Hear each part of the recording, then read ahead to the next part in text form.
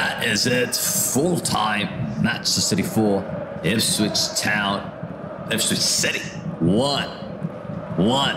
1. Ipswich Town. Ipswich Town 1.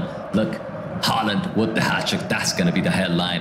If Haaland is your man of the match, make sure you smash the like on the stream because he was devastating today. He was devastating today. They couldn't handle him.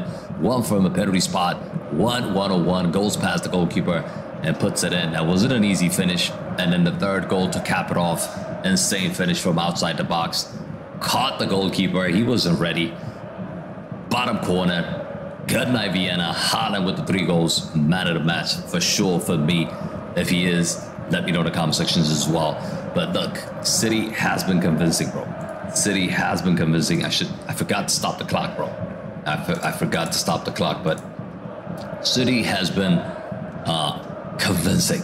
They were down a goal in the first eight minutes, but immediately they responded, just like what you expect from champions to respond. The way they responded was incredible.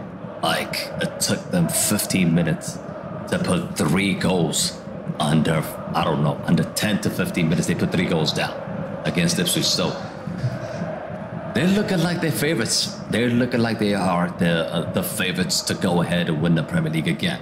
Um, I'm pretty sure that's gonna happen. I'm pretty sure that's gonna happen. Uh, the other goal scorer for Man City was KDB Kevin De Bruyne uh, on the score sheet as well. So it's been a, a, it's been a good day. It has been a good day for Manchester City today. Uh, their next match now. Their next match is against um, West Ham away.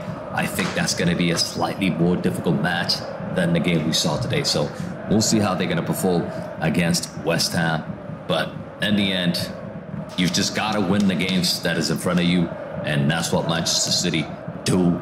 They've been doing this for years now, not just this year, not this last year. They've been doing it consecutively now for the past five seasons. So I expect them to be there about to win the league, but it's it's too far of a conversation to talk about who's going to win the league. What they can do now is just making sure that they get W's and they, they get three points and rack up points and rack up goals. And that's what they're doing. But yeah, guys, thank you all for watching. Like I said, after this, we've got uh, Arsenal versus Aston Villa.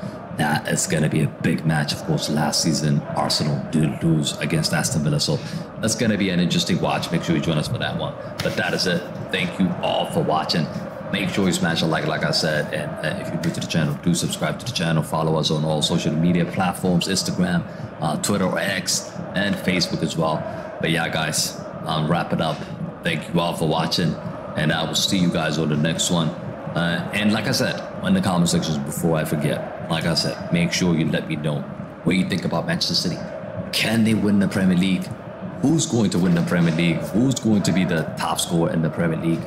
Uh, you guys get involved and let me know in the chat. But yeah, thanks for watching, and I will see you guys on the next one. Uh, peace.